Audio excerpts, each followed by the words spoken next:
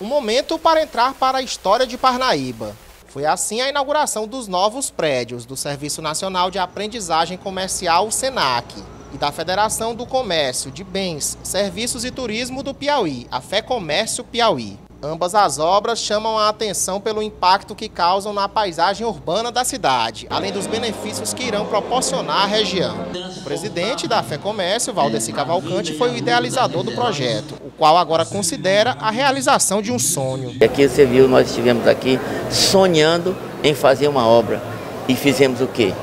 Fizemos um, um grande, um grande prédio aqui, belíssimo, que vai atender 20 mil matrículas por ano, com 23 laboratórios, com a tecnologia mais perfeita, mais moderna que existe no planeta Terra. Nós temos aqui a obra ganhou forma através do trabalho do renomado arquiteto Francisco Costa, que foi um dos homenageados durante a noite solene. Esse edifício, a gente tem um auditório central e lá nós teremos três auditórios é, paralelos, né? Então eu teria um central e três periféricos. Hoje um sonho se realiza. Exatamente. O sonho se realiza. O novo prédio do SENAC já está em funcionamento, oferecendo agora um leque ainda maior de cursos profissionalizantes, como explica a diretora Elaine Dias. Hoje é um dia muito importante para o SENAC, né? Porque Parnaíba é uma das principais cidades do nosso estado e merece uma obra como essa. Né? Nós já tínhamos uma unidade, é, mas era menor e hoje, além da unidade ser nova, moderna, ampla, contempla mais laboratórios. Né? É, eu quero, gosto de dar um enfoque maior para os nossos cursos técnicos, onde agora a gente vai conseguir ofertar, né? que é o nosso curso de enfermagem, o nosso curso de estética, de podologia, de gastronomia. Né? O secretário de Saúde do Piauí, Florentino Neto, foi homenageado com seu nome no edifício. Eu sou grato por essa homenagem, certo? do SENAC e da Fé Comércio, do Dr. Valdeci e de todos que contribuíram. Eu estou aqui é, para trabalhar e no momento que a gente recebe a homenagem também, a gente está para agradecer.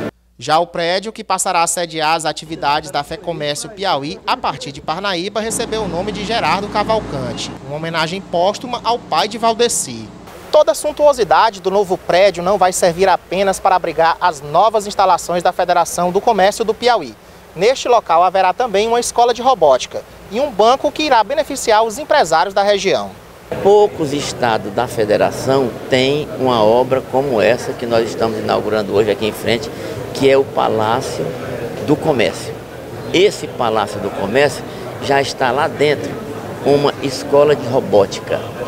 Nós vamos preparar jovens em parceria com o Sesc Senac para produzir milhares de embriões de empresas que serão espalhadas por todo o Brasil. Então, nós estamos preparados para atender tanto nesse prédio como no prédio da Fé Comércio alunos, empresários, empreendedores que buscam crescer nos seus negócios e montar o seu próprio negócio, iniciar seu próprio negócio. Nós estamos trazendo também vai ser, já está ali o banner lá no prédio, um banco para Parnaíba, um novo banco, o Banco Cicobi. O Banco Cicobi é um banco que está preparado para emprestar dinheiro para a classe empresarial com as menores taxas de juro, porque todos aqueles que abrirem uma conta se tornarão sócios da cooperativa de crédito. Então eles vão ter direito a cartão de crédito com a menor taxa de juro, vão ter dinheiro facilitado para capital de giro, vão ter dinheiro facilitado para investimentos e assim nós vamos trazendo mais oportunidades de negócio para a nossa cidade. A inauguração contou com a presença de presidentes de federações de todo o Brasil, além de empresários e políticos. Inclusive o governador do Distrito Federal, Ibanês Rocha, que tem raízes no Piauí. O professor Valdeci é um professor que nos encanta a todos os momentos, agora como diretor da Confederação Nacional do Comércio, e nós temos que, eu que visito as praias aqui de Parnaíba, de Luiz Correia, o delta do Parnaíba, e sabemos das belezas naturais que nós temos. Faltava a qualificação profissional e o professor Valdeci, como uma pessoa que muito atenciosa a essa área, traz essa belíssima obra agora para Parnaíba e eu não poderia deixar de prestigiar. São unidades, vamos dizer, de padrão, de melhor qualidade para a formação de jovens preparando para o mercado de trabalho. Portanto, Parnaíba está de parabéns por receber esses dois empreendimentos e cumprimentar o Valdeci, que preside o sistema, pela iniciativa, pelo seu trabalho em realizar esses dois grandes empreendimentos e pelo trabalho que ele faz, faz em todo o estado do Piauí. Que beleza a cidade da dimensão cultural maior Parnaíba. É, de qualquer maneira, vai ajudar, vai ficar mais bonita. Ainda durante a inauguração, houveram uma série de homenagens a personalidades que contribuem com as atividades do Senac e Fé Comércio.